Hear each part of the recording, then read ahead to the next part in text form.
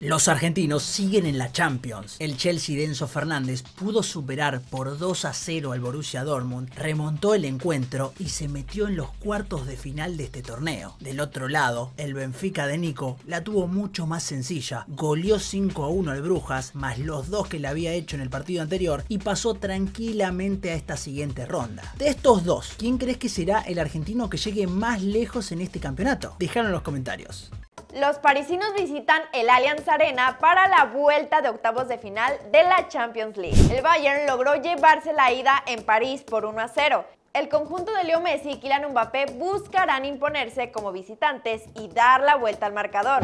¿Quién es tu favorito para que avance a los cuartos de final? Las apuestas indican que la victoria del Bayern paga 1,75, el empate 4,20 y si el Paris Saint-Germain gana pagarían 3,90. La clasificación de los de Nagelsmann 1,20 y la de los parisinos 4. Juega y diviértete con Codere Argentina. Volvería a tomar la misma decisión, afirmó Joan Laporta al recordar la salida de Messi del Barça. El presidente del club catalán volvió a hablar con la prensa y fue cuestionado nuevamente acerca de la polémica salida del astro argentino. Tenía que tomar esa decisión, la institución está por encima de todos, no teníamos fair play, tenía que elegir y terminé escogiendo la institución, sentenció el español. Recordemos que tras su marcha, los culés no ganaron más la Liga ni la Copa del Rey y además quedaron eliminados dos veces consecutivas en fase de grupos de la Champions. ¿Qué opinan al respecto? Los leemos. Luego también reveló de qué trató la famosa reunión con el padre del 10. Nos hemos visto, lo felicité por Argentina y hablamos del homenaje a Leo, que tiene un cariño extraordinario por el Barça. No quiero hablar por respeto al jugador que está jugando en el PSG. También lo vi y lo felicité en París, expresó el directivo. Por otra parte, el periodista Joaquín Maroto del diario AS reveló que estos encuentros son para tratar de sellar la vuelta a España en junio. Teniendo esto en cuenta, podemos pensar entonces que el duelo ante el Bayern será decisivo en la decisión de Leo para ver si continúa o no en el PSG. ¿Qué opinas? ¿Crees que aún hay chances de un posible retorno? Déjalo en los comentarios. Por otra parte, el presidente de la MLS aseguró que está dispuesto a ayudar en lo que sea al Inter Miami para lograr el fichaje del argentino. Cuando hay rumores de que Messi tiene chances de llegar a Miami es genial y sería fantástico para la liga. Lo que sea que el propietario del Inter decida, nosotros le brindaremos las herramientas necesarias si tenemos la oportunidad de hacerlo, sentenció Garber. ¿Le gustaría verlo en esa liga? Los leemos. Volviendo al duelo de Champions, le consultaron a Thomas Müller cómo palpita su duelo ante el argentino y fue contundente. Conozco mis estadísticas en partidos contra él. Está el 8-2 contra Barcelona, pero creo que la más importante fue el 7-0 global en la semifinal del 2013. Fue hace 10 años y son estadísticas del pasado. Este será otro partido, comentó el volante del Bayern. Además, reveló quién le parece que es el jugador más espectacular del equipo parisino y sorprendió a todos con su respuesta. Es una decisión fácil. Es Kylian. Su explosividad, sus buenas elecciones, es súper efectivo y me encanta. Creo que a todo el mundo le gusta verlo, pero si nuestro plan es efectivo, mañana no se va a divertir, sentenció el alemán. Coinciden con él, los leemos. Y antes de seguir, no te olvides de suscribirte, activar la campanita para estar enterado de las últimas noticias del fútbol argentino. Julián Álvarez confesó qué fue lo primero que le dijo Erling Haaland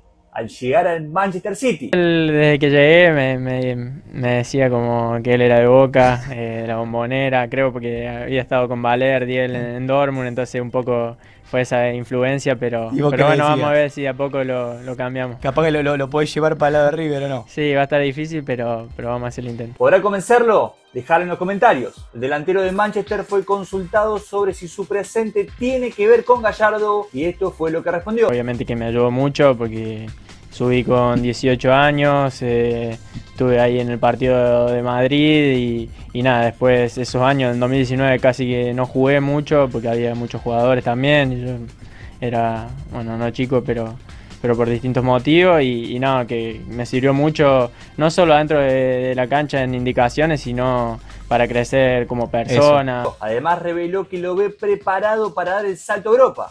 Sí, obviamente que creo que está, está preparado, lo ha demostrado en todos los años que, estuvo en River. No sé qué, es lo que se le pasará a él por la cabeza, pero, pero sí sería un lindo desafío y a todos nos gustaría ver eso. Luego habló sobre su experiencia en Qatar y confesó que no esperaba jugar tanto. Sí, creo que superó un poco las expectativas. Lautaro no, estaba, no estuvo tan, tan bien físicamente y yo estaba preparado para, para ir para estar a disposición del técnico, de mis compañeros y bueno, cuando me tocó supe, supe estar ahí para, aprovechar esa situación y ayudar al equipo. También recordó sus goles ante Croacia y resaltó que en el primero tuvo suerte y que el segundo es casi todo de Lionel Messi. Después le preguntaron si tuvo alguna cábala y sorprendió a todos por quién fue su compañero Néstor. Y antes del partido, a la noche, jugamos en la pieza del Chiqui con, eh, al truco contra ellos.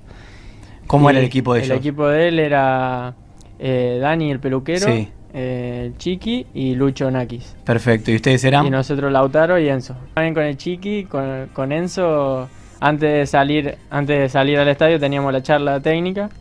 Antes de la charla técnica eh, bajábamos el ascensor y, y, el Chiqui nos estaba esperando ahí para, para saludarnos, a mí y a Enzo. Sí. Además relató cómo vivió la final ante Francia. Ahí van pasando muchas cosas en el partido, cuando nos empatan en tan, tan poco tiempo, voy a decir no puede ser, y después hace el tercero, decir ya está, acá tenemos que aguantar un poco más y te empatan de vuelta y, y vos en la cabeza ya tenías como que ya está tan cerca, tan cerca, y, pero bueno. Por último, dejó en claro la gran importancia de Dibu Martínez, la consagración argentina. No, en el momento me acuerdo que estar en el banco y estaba ahí cerca de Fideo y y nada, nos agarramos la cabeza cuando quedó la pelota ahí picando, porque se nos caía todo en el último minuto, iba a ser una, una locura.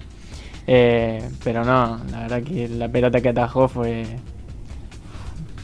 fue todo, Alexis McAllister está en la mira de varios grandes de la Premier. Manchester United es el que pica en punta por ahora debido a que ha mantenido discusiones internas sobre su fichaje para el próximo mercado. Además, Liverpool, Chelsea y Manchester City también estarían interesados y su costo sería de 60 millones de euros. ¿A qué club creen que deba ir? Déjenlo en los comentarios. Por otro lado, Alejandro Garnacho fue duramente criticado por el Puma Morete, una leyenda del fútbol argentino. Te voy a hablar del pendejo este del Manchester United, este Garnacho. Es un maleducado, es un maleducado poco humilde. Sí, es un poco, muy poco humilde. Cuando eliminan al Barcelona por la Europa League, muy Pancho dijo, ganó el equipo grande. Se estaba refiriendo al Barcelona. No estaba jugando con el Getafe. A ver, y ahora me gustaría que diga lo mismo después de comerse siete ayer con el Liverpool, que la misma palabra que la diga a favor del Liverpool, ¿me entendés? Coinciden con él, los leemos. Si hablamos de leyendas argentinas, José Peckerman sorprendió a todos y presentó su renuncia como DT de Venezuela luego de dirigir solo 10 partidos. Esto se debe a varios incumplimientos de la federación y además en apoyo a su representante Pascual Lescano, que es investigado por presuntas irregularidades administrativas. Junto a él se va también el Bocho Batista. Recordemos que la sub-20 está sin entrenador luego de la salida de Mascherano. ¿Te gustaría verlos nuevamente con las juveniles argentinas? Déjalo en los comentarios. Siguiendo con las elecciones, esto dijo el Chimi Ávila sobre ser convocado por España. Qué contento, siempre lo digo que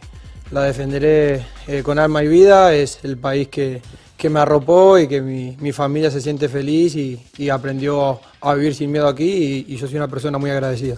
Cabe destacar que el delantero argentino de los Asuna se encuentra en la prelista del nuevo seleccionador español. ¿Qué opinas al respecto? Te leemos. Tras ser figura en Boca, Sergio Romero le mandó un mensaje al Dibu Martínez. ¿A qué voy a decir del Dibu? La verdad que hizo un gran trabajo en, en lo que lleva en la selección. Lograron la Copa América, lograron el Mundial. La verdad que eso es admirable la verdad que más que palabra de agradecimiento por lo que hizo por la, por la selección y por el país, no, no tengo más que decirlo. ¿no?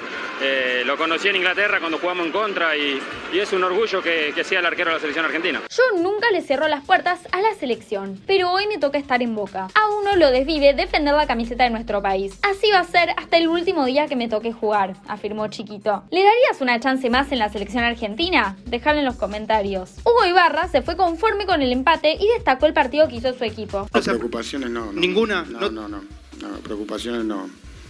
Tenemos que mejorar, sin duda, sí, pero me voy conforme con lo que hizo el equipo, este, por lo jugado, por lo hecho, seguramente más en el segundo tiempo que el primero. Gabriel Arias se mostró muy molesto por la derrota ante Godoy Cruz. En ningún momento entendimos que eh, nos costó el juego, cancha difícil y hay que si, querés salir campeón, si querés aspirar, eh, aspirar a cosas grandes, tenés que empezar a, tengo que empezar a aprender a jugar estos partidos de antes. De esta forma, Defensa alcanzó al Ciclón en la cima, mientras que atrás lo siguen a un punto Huracán, Talleres, Lanús y River. Y hablando del millonario, un exjugador del club tuvo un picante cruce con un fanático. Radamel Falcao recordó su debut y un hincha le recordó que nunca volvió al club que lo formó. Yo fui el que quedó libre de River el 30 de junio del 2009 y volví a firmar contrato en julio del mismo año para que me vendieran a Porto y ganara dinero. Fue la rápida respuesta del colombiano ¿Qué opinan al respecto? Los leemos. Además, Estudiantes confirmó desde sus redes oficiales que Eduardo Domínguez es su nuevo entrenador. Hoy estuvo al mando de la práctica y firmó su contrato por una temporada.